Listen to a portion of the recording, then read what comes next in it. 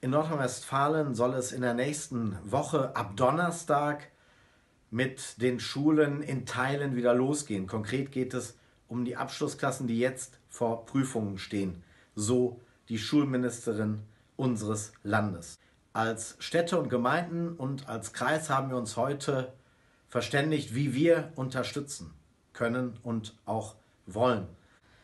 Als Schulträger werden wir es gemeinsam möglich machen, den Schulbusverkehr wieder hochzufahren. Die Busse werden ab Donnerstag dann fahren. Wir sorgen für Desinfektionsmittel sowohl für die Handhygiene als auch für den flächendeckenden Desinfektionsschutz. Und wir werden darüber hinaus gemeinsam Mund-Nasen-Bedeckung, wie es so heißt, also quasi Gesichtsmasken für die Schülerinnen und Schüler bereitstellen, auch für die Lehrerinnen und Lehrer. Und wir hoffen dann, dass den Schulleitungen es gelingt, ein überzeugendes Konzept auf den Weg zu bringen. Wir als Schulträger möchten gemeinsam mit unterstützen, wo wir es können und wo wir letztlich zuständig sind. Ich glaube, dass klare Regelungen hier für die Schülerinnen und Schüler, vor allem aber für die Eltern wichtig sind und auch richtig. Wir haben auch Regelungen zur weiteren Sicherstellung der Notbetreuung vereinbart. Die Betreuung soll ja dann für die Kinder geregelt sein, die noch nicht in die Schule oder in den Kindergarten müssen, aber deren Eltern wichtige Berufe haben, die dann arbeiten müssen. Auch hier sind Regelungen vereinbart worden. Ganz besondere Diskussionen gab es ja um die Frage, welche Geschäfte dürfen denn ab Montag öffnen. Hier hat die neue Corona-Schutzverordnung Änderungen und Klarstellungen gebracht. Grundsätzlich dürfen Einzelhandelsgeschäfte bis 800 Quadratmeter öffnen.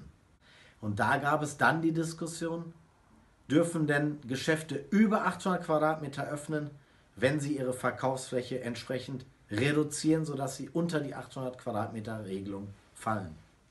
Hier hat das Land gesagt, nein. Grund war, dass der Bund gesagt hat, nein, die Regelung soll stringent bei 800 Meter begrenzt werden, keine Ausnahmen. Wir halten diese Regelung für nicht richtig. Wir, das sind der Oberbürgermeister der Stadt Münster, die Landräte, aber auch die Bürgerinnen, die Bürgermeisterinnen und Bürgermeister unseres Kreises.